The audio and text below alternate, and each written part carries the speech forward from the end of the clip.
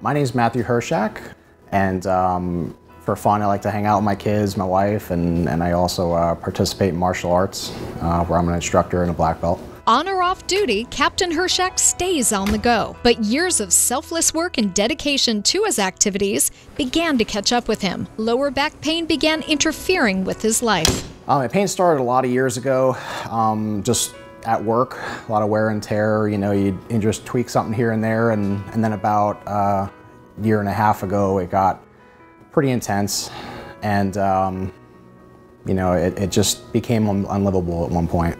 Pain was on my lower back, and it was a burning feeling. It was crampy, um, and it just kind of just hung out in the lower part of my back. Just went from the, the whole le whole left side to the right side, and and it was just constant and intense. And there was a lot of times where I'd be doing activities and I'd have to go sit down, you know, and stretch out. And um, but there's a lot of times that there was nothing I can do to make it feel better.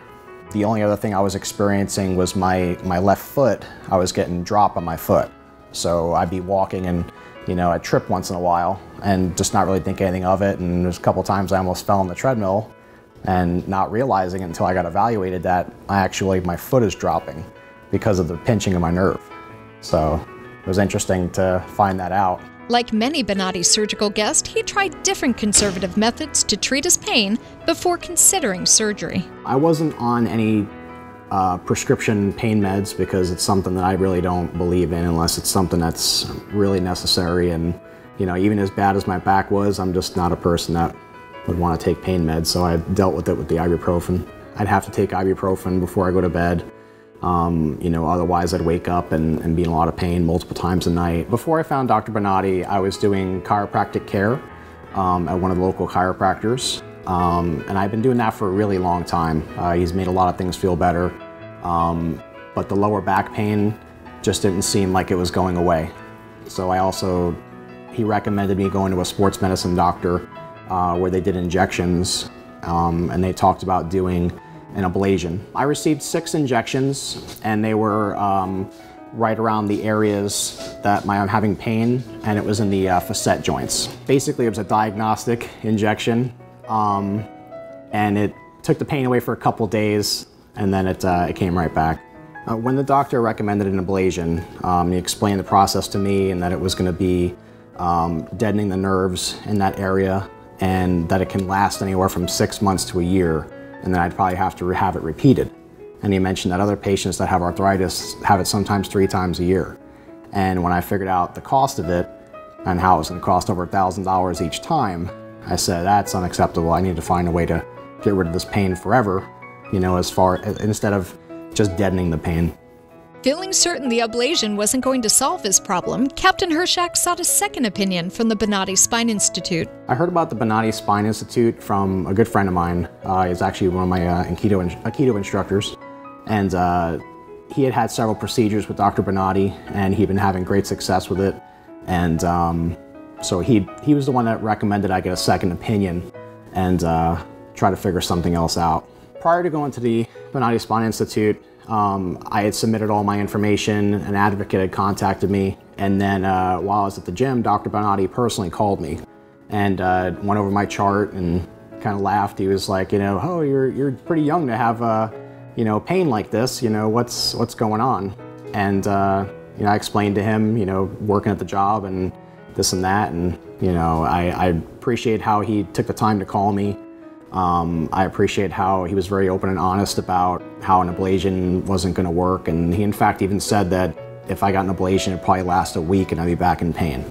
He says that's not the area where you're having pain. He says your your pain is your your discs and your and the and the nerves coming off your spine. He says it's not the facet joints. He scheduled his consultation knowing the staff at Bonati could fully eliminate his pain, not just offer him a band-aid. I was really really impressed how everything is on campus. You know, all the imaging and, you know, all the surgeons are right there and, and nursing staff and, and it was very cool just to go through that whole entire process. The surgeon that I met with uh, when I went to the Institute, it was Dr. Granati. He was a very cool gentleman. You know, he came in the room and, and he put my chart up on the screen and, and he says, you know, I'm gonna go over where you're having pain, where I think you're having pain, and you know what we're gonna do, and, and you know let me know if that's where you think you're having pain, you know. And he kind of went over the chart and explained to me what he's what he's seeing in the MRI, and and he goes, "This is where I think you're having the issue." And I was like, "Yep, dead on. That's where I'm having it." I felt like so confident at that point because this guy knows what he's talking about because that is exactly where I'm feeling my pain. You know, this is what I'm experiencing. Um, and, and, it felt very reassuring that it wasn't just me saying, you know, hey, this is my pain. And he goes, well, it could be this or that. You know, it felt very reassuring that, you know, he knew exactly where the issue was. Captain Hershak had one multi level procedure at L4L5 and L5S1. Before my procedure, they explained to me the conscious sedation part of the procedure. And I just thought that was fascinating because, you know, most people, they go into surgery and they're out and then they wake up and the whole surgery is done. But this is, they were letting me know that, you know, you're kind of going to be like in a twilight state. We're going to wake you up and, and, uh, you know, we're going to have instruments in your back and, and you'll be awake for that and aware and able to answer questions for us. And we want you to let us know whether you're feeling pain in your back or feeling pain in your leg. And I don't know if they were pulling on nerves or what they were doing, but they they touched one spot and I went, oh, leg, leg, leg, and and then uh, then they touched my back and I went, oh, that's my back, you know. So, but then once they told me to arch back up, I just put my hands on the table and propped up and and didn't have any discomfort in my lower back. It was all gone. My pain was gone before I even left the operating room.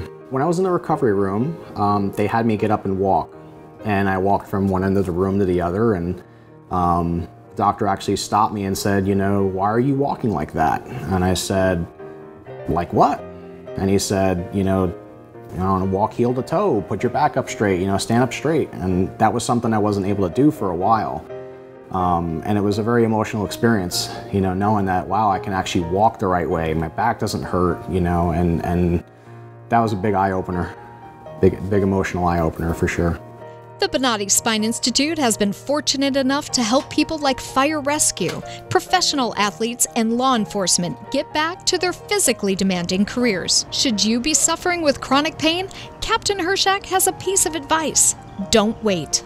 You know, it's kind of scary when you're you're working in a field and you wonder if a back injury is going to, you know, take you out of work.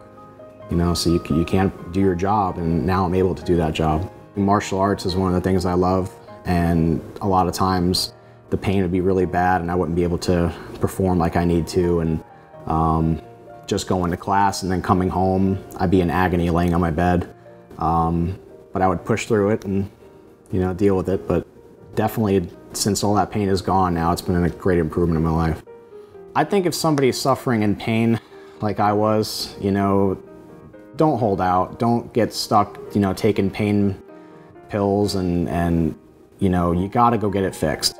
If it's something that's able to be corrected, it's worth the time to go in there and get it done.